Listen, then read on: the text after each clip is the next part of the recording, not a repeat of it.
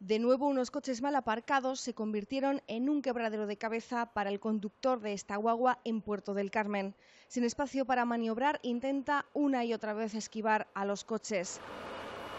Da marcha atrás, apura al máximo, pero no consigue su objetivo. El conductor decide hasta bajarse observar y volver a intentarlo, mientras otros conductores miran atónitos una escena que se repite con demasiada frecuencia en las inmediaciones del hotel Fariones, donde los coches aparcan en línea amarilla desesperados tras dar vueltas y vueltas sin encontrar una plaza de aparcamiento.